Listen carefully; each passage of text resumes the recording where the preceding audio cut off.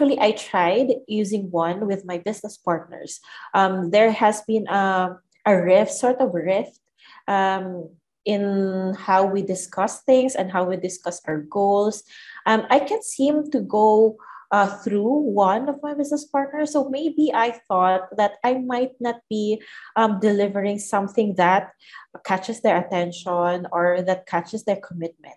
So that's what I was trying to do and will continue try to do in the ne- next few days.